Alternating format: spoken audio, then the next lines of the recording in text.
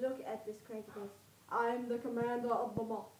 And I'm sticking sharp, pointy things into Alana. That actually really hurt. See, see these wonderful spikes on my leg. Those are What I'm doing? She's really enjoying annoying me to today. devour you? To take a big chunk out of you? Yeah.